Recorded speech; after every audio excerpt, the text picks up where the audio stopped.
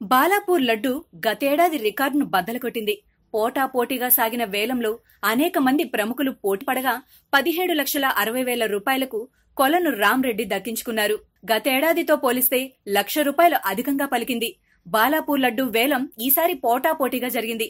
ఏకంగా పాతిక మంది పోటీపడ్డారు. దాంతో వేలం పాటపై తీవ్ర ఉత్కంఠ కొనసాగింది. అయితే నెంబర్ పదమూడు లక్షలు దాటిన తర్వాత పాటదారుల సంఖ్య తగ్గిపోతూ వచ్చింది. చివరికి పదిహేడు లక్షల అరవై వేలకు కొలను కుటుంబం సొంతం చేసుకుంది. అంతేకాదు పంతొమ్మిది వందల తొంభై నాలుగులో ప్రారంభమైన ఈ వేలం పాటలో కొలను కుటుంబం ఇప్పటి వరకు తొమ్మిది సార్లు లడ్డూను దక్కించుకొని రికార్డు సృష్టించింది. బాలాపూర్ లడ్డూను దక్కించుకుంటే సర్వ శుభాలు కలుగుతాయని భక్తుల ప్రగాఢ నమ్మకం. బాలాపూర్ లడ్డూని పొలంలో చల్లుకుంటే అధిక దిగుబడి వస్తుందని ఇంట్లో చల్లుకుంటే ఇంటిల్లిపాది ఆయురారోగ్యాలతో ఉంటారని అలాగే వ్యాపారం ఇబ్బడి ముబ్బడిగా పెరుగుతుందని నమ్ముతారు. దాంతో ఈ లడ్డూకు ఎక్కడా లేని డిమాండ్ పెరిగింది. అందుకే పంతొమ్మిది వందల తొంభై నాలుగులో నాలుగు వందల యాభై రూపాయలతో మొదలైన లడ్డూ వేలంపాట తక్కువ టైంలోనే లక్షలకు చేరింది.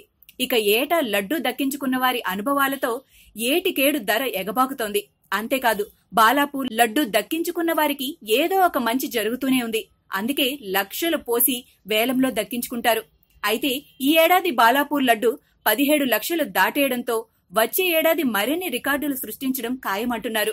అయితే బాలాపూర్ రికార్డును ఫిలిం నగర్ బద్దలు కొట్టింది లడ్డు అంటేనే బాలాపూర్ గుర్తొచ్చే వారందరికీ ఈసారి ఫిలిం నగర్ షాక్ ఇచ్చింది. బాలాపూర్ లడ్డు రికార్డును క్రాస్ చేసి మరీ సరికొత్త రికార్డును సృష్టించింది.